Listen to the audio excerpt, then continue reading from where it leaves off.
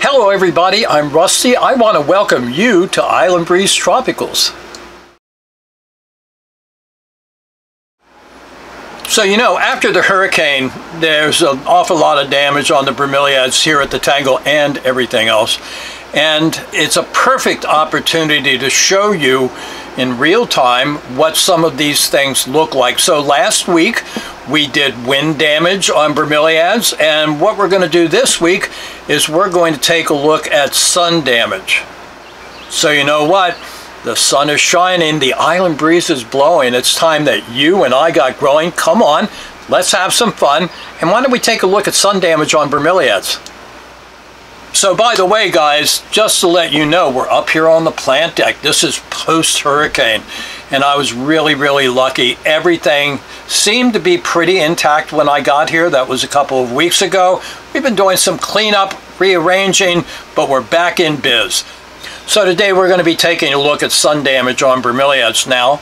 It happened here because we had a hurricane and it blew down a lot of the mature palms that we have growing here at the Tangle.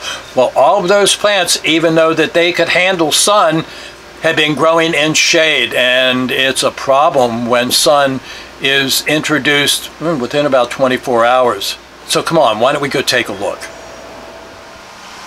All right, what we're looking at here is an Alcantara it looks a little bit like an Imperialis, but it's not actually. This is an Alcantara Merlot. That's a hybrid.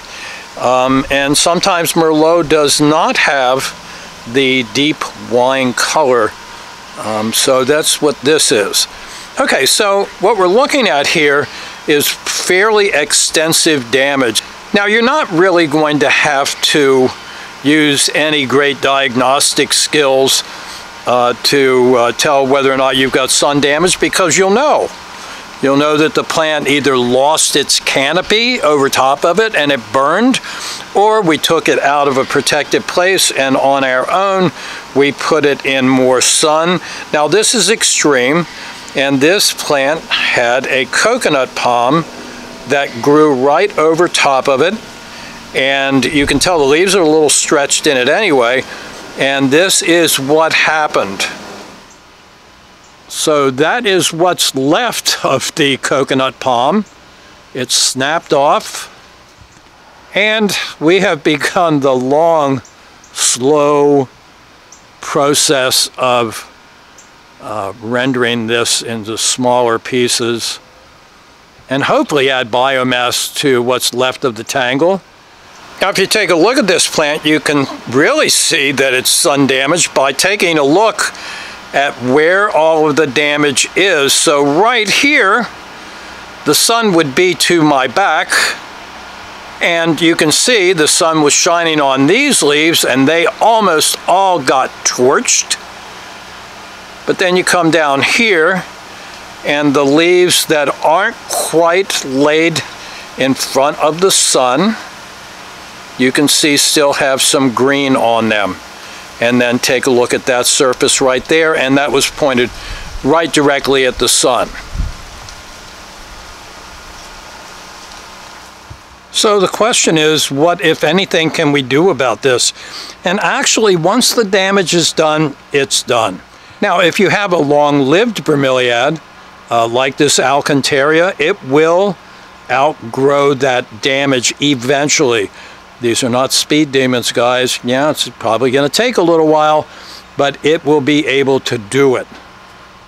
Now, in the case of this Alcantara, I think you can see the damage is so extensive that really there's no trimming this out to make it into a pretty plant.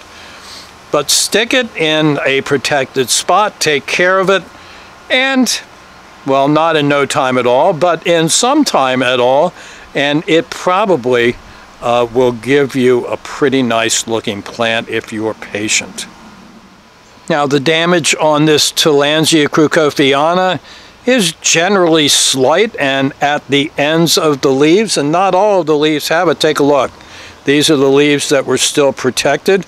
Hopefully I'm not going to get my big foot in the frame. Um, and this really could be trimmed out.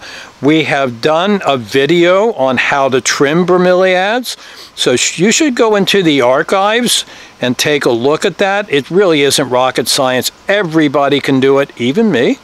And um, this plant maybe can be repaired. It's not going to be perfect, but there will be something left. Now this is an Alcantara that has had wind damage on it and also some sun damage. We went into wind damage last week. If you didn't get to see it, go back in the archives. I hope you like it. And you can see that sun damage. Now, this particular Alcantara is in a little bit more sheltered spot uh, under what's left of the canopy here at the tangle. And so it didn't suffer a whole lot of damage and it can be repaired.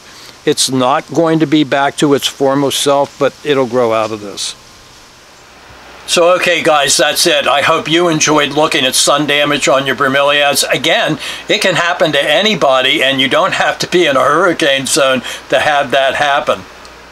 So no matter where you are, I hope your sun is shining. I hope you have an island breeze blowing. I know that you need to keep growing. Have lots of fun.